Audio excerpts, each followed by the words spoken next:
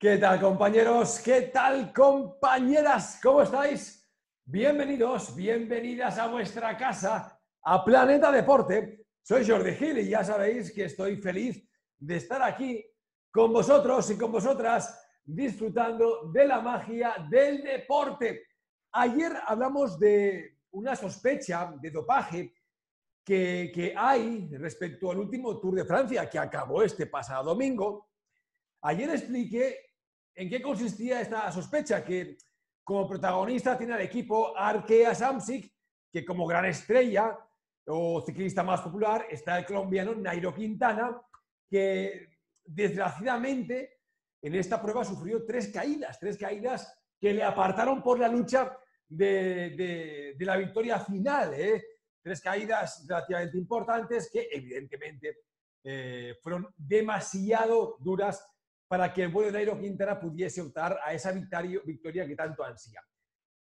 Tras el vídeo que publiqué ayer, obviamente eh, hubieron muchos comentarios, el vídeo está disponible, lo podéis ver, podéis leer los comentarios, el debate está abierto. Yo ayer dije que a mí me sabe muy mal que en el ciclismo y concretamente en la prueba francesa, la, prueba por excelencia del, año ciclista, eh, tengamos que hablar del dopaje y no de lo que ha sucedido eh, durante la carrera.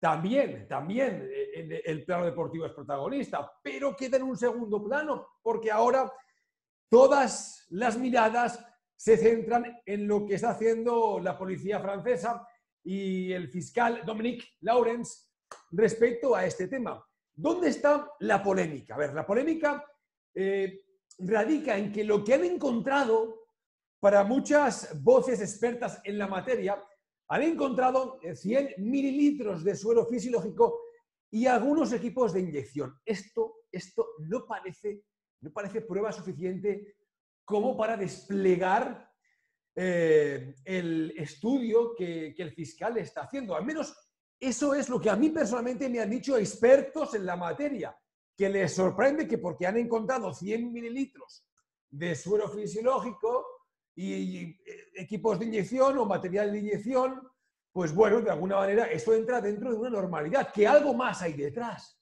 que quizás no nos lo están diciendo. Además, por segundo día consecutivo, están retenidos eh, en la comisaría un médico y, un, y el fisioterapeuta de Nairo Quintana, que, que ya estaba con él en el equipo, Movistar, que es un fisioterapeuta español de plena confianza para el ciclista colombiano. Eh, es decir, dos personas que están retenidas todavía, segundo día, que mañana seguirán en el interrogatorio, que han interrogado también a, Nairo, a Dyer, a Winner, a diferentes eh, ciclistas del equipo. Y parece poco creíble, eh, según me indican, parece poco creíble que por lo que nos han explicado exista tanta duda y que, que o están escondiendo algo que los demás no conocemos, no sabemos porque no nos lo han comunicado, o también podría ser que estén de alguna manera exagerando con, con esta sospecha y que no sea para tanto, porque es que el suelo fisiológico, si yo no estoy muy equivocado, corregidme, ¿eh? si, sois expertos, corregidme por favor aquí en los comentarios. El suelo fisiológico se puede utilizar prácticamente para todo, incluso para limpiar heridas tras una caída. Y acabo de decir que Nairo Quintana sufrió tres caídas en esta gran carrera eh, del Tour de Francia. Tres caídas y el suero pues también se utiliza para, limpiar las heridas, para, limpiar eh, la sangre, ¿verdad? Que brota de la herida. Eh, entonces, yo, llegados a este punto, yo ya no sé qué pensar.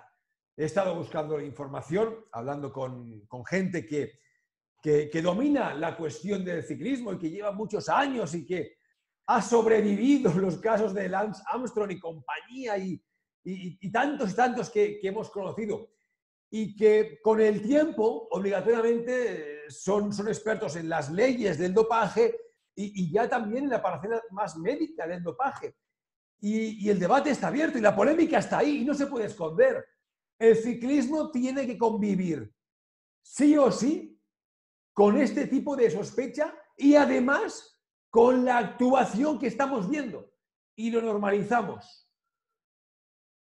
bueno, pues, pues puede ser que, ser que haya algo más detrás eh, y que el fiscal Dominic Lawrence, como os decía antes, no lo esté contando y que la policía lo esté investigando y que por eso mantienen retenidos a, dos personas, porque es que es importante lo que os estoy diciendo. ¿eh?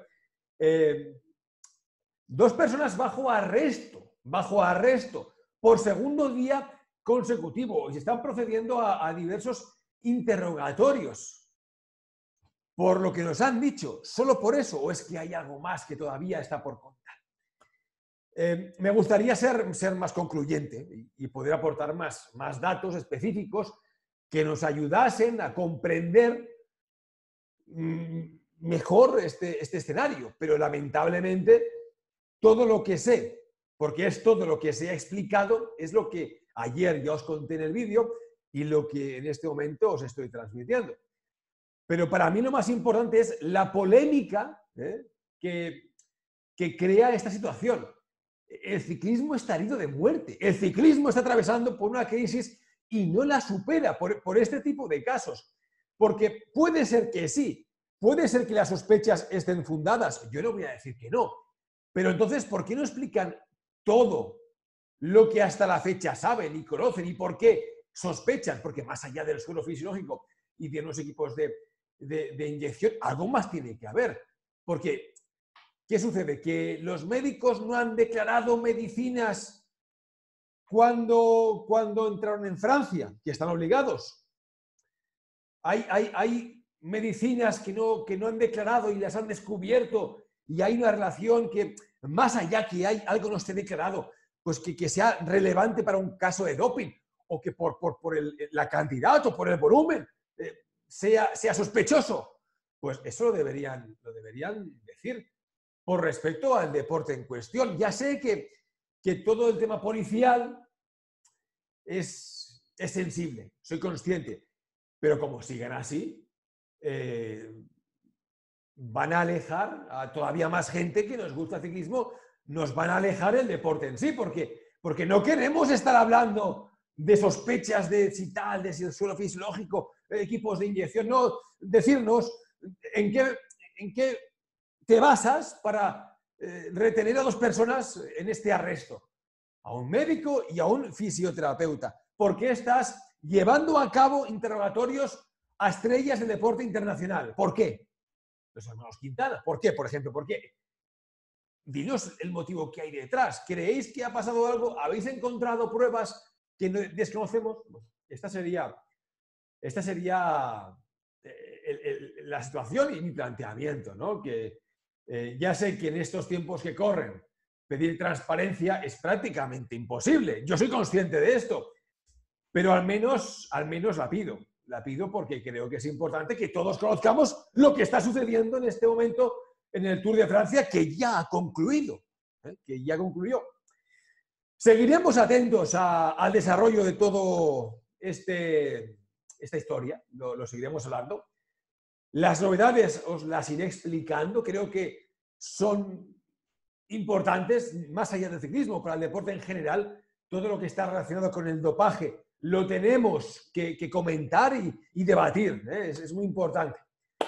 Nada más, comentarios, si os apetece, que es gratis, que no sé, no hay que pagar nada, podéis decir lo que os dé la gana, venga, aquí debajo, nada más, os dejamos aquí, pero sobre todo, Disfruta, chao.